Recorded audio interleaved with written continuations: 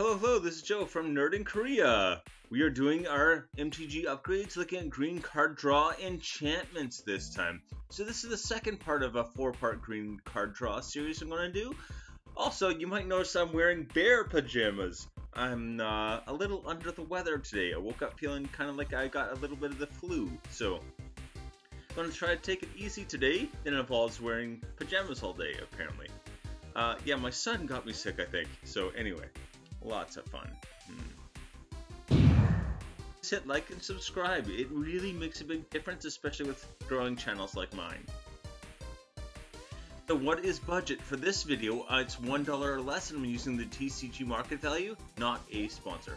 Mm, no, no, no. Mm -mm. A go-to! Alright, so Garruk's Uprising, I look at as like, this is like the first card you probably think of. If you want green card draw that does a bunch of other cool stuff, this is it. It's very affordable as well. Not technically part of my list though. Two and a green.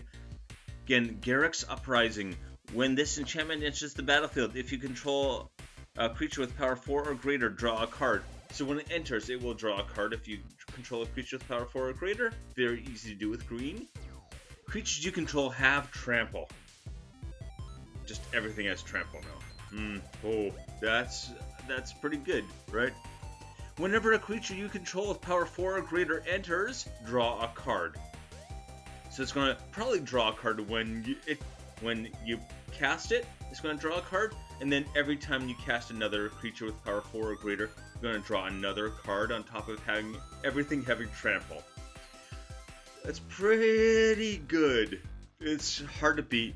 It has been printed a lot, that's why it's only 37 cents.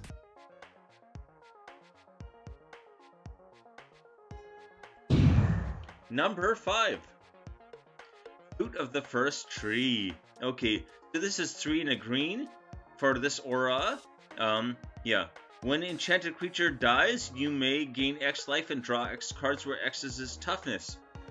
Basically, uh, plant this on a creature that, like, has high toughness, and then you're going to be able to draw a whole bunch of cards when it, you know, when it get, gets sent to the graveyard.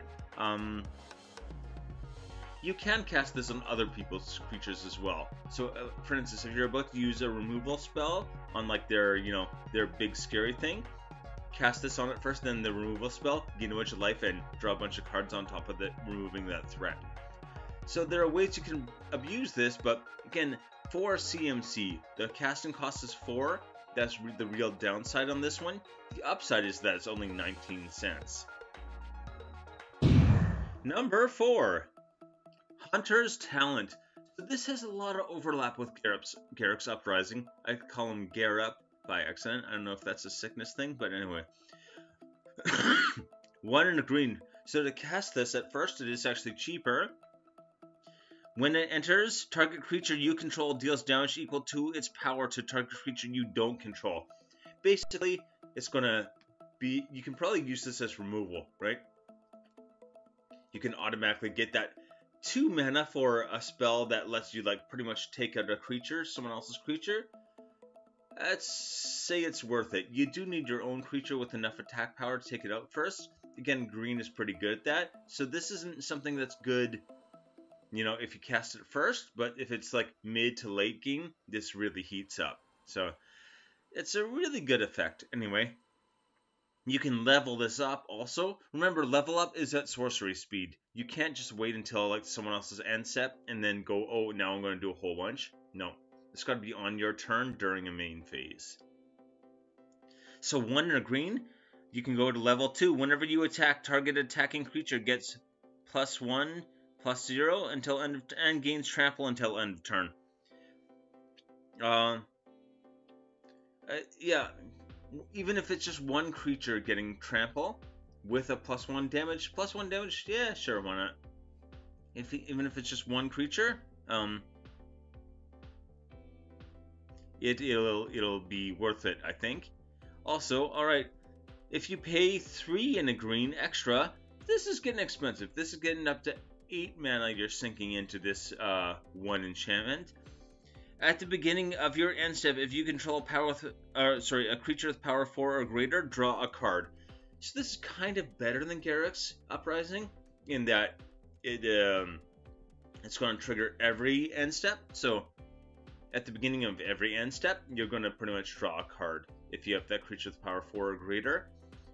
Garruk, it's only when it enters or when the enchantment first enters, right? So Garruk's Uprising is only 3, where to get this effect, you're going to have to sink, yeah, 8 mana into this. So that's, uh, yeah, I don't know. If you're looking for, like, an enchantment removal, maybe this is the thing. The card draw option is pricey. Anyway, it's what's not pricey is that it's 23 cents. Number 3. Bequeathal. Okay, one green? It, it, this is a lot like Fruit of the First Tree. So if enchantment enchanted creatures put into any graveyard, draw two cards. So this is nicer in a way. First of all, the casting cost is only one. So that's better already. And uh, you get to draw two cards. It doesn't matter. You can put this on something with one toughness, you still get two cards, right? A lot of creatures are going to have one or two toughness that you want to take out anyway because they do annoying stuff. Um, make that into like more card advantage for yourself. Especially if you got some kind of way to pull permanents out of your graveyard. Remember, this is an aura, so it is a permanent.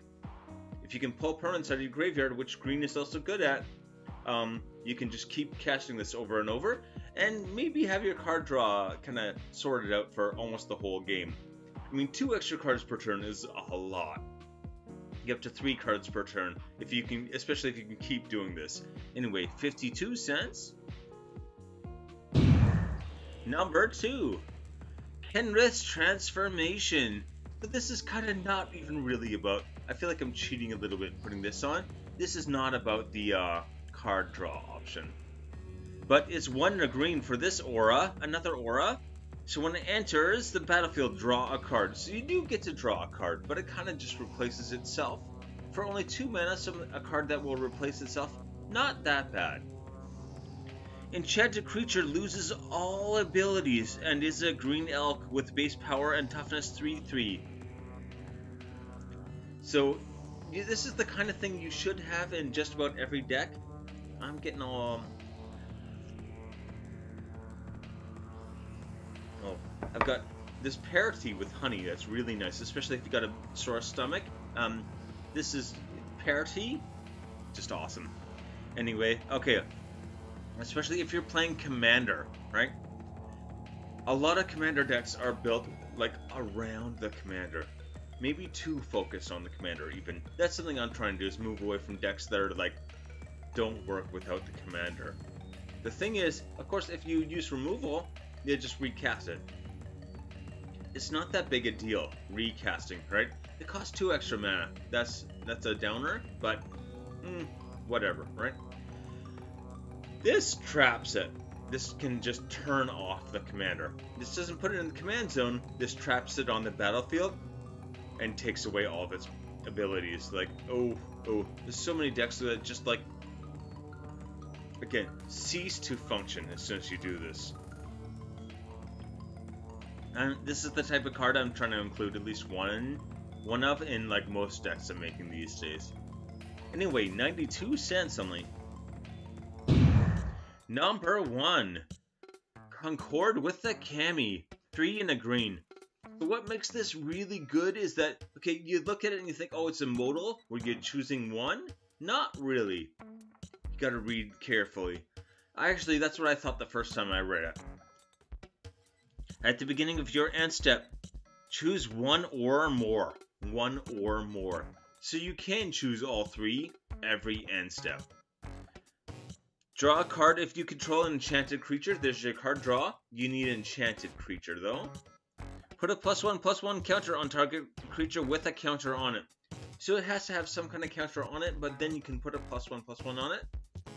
Very good for those. Again, green loves their plus one, plus one counter decks. This is going to be right at home there, right? And finally, create a 1-1 color sapling creature token if you control an equipped creature. So again, you need an enchanted creature and an equipped creature. Not that hard to do. and you can activate all three of these every turn. So every turn, put an extra plus one plus one counter down, draw an extra card, make a one one, yeah, Saproling. Every turn, you're going to be doing all three of those. Not hard conditions to meet. Anyway, uh, 19 cents.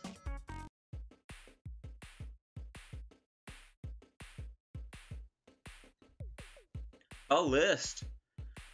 Food of the first tree is 19 cents.